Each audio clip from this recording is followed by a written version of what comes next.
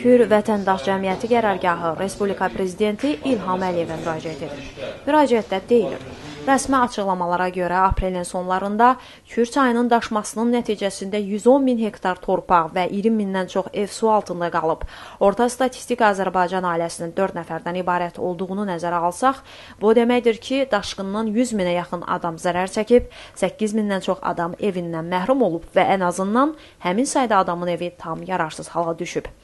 Lakin daşqına məruz qalan təsərrüfatların bu il məhsuldan məhrum olması faktı həm də yaşamaq üçün vəsaitin olmaması deməkdir. Bu fəlakətlə üzləşən adamlar üçün ciddi humanitar nəticələr verəcək. Mayda bir sıra Kiyev və qeyri-hökumət təşkilatlarının nümayəndələri Kür Vətəndaş Cəmiyyəti qərargahını yaradıblar.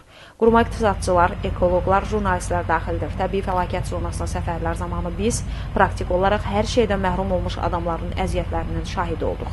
Söhbət zamanı biz onlara əmin etdik ki, dövlət onların həyat şəraitinin daşqından əvvəlki vəziyyətə qaytarılması üzrə operativ və adekvat yardım göstərəcək. Hesab edirik ki, hökumət əhalinin yeni yaşayış yerlərinə köçürülməsi ideyasından imtina edərək onların təsərrüfatlarının bərpası haqqında qərar qəbul etməklə düzgün hərəkət edib.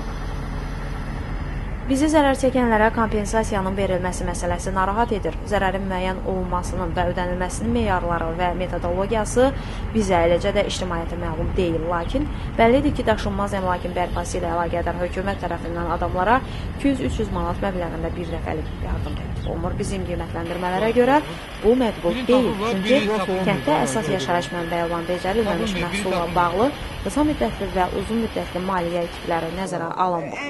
Biz dəyən zərərin qiymətləndirilməsinin və kompensasiyaların verilməsinin elmi metodologiya və beynəlxalq normalar əsasında həyata keçirilməsini vacib hesab edirik. Fəlakətlə üzləşən vətəndaşlarımız dövlətə ümidlə baxır. Biz onların hüquqlarının və təhlükəsizliyinin qurantı kimi sizdən xahiş edirik ki, bu problemin həlli üçün zəruri tədbirlər görəsiz. Biz həmçinin sizdən xahiş edirik ki, təbii fəlakətin nəticələrinin aradan qaldırılması və Kür zonasında yeni fövqəladə halların qarşısının alınması üzrə dövlət layihələrində vətəndaş sektorunun iştirakının təmin olunması barədə hökumətə göstəriş verəsiz.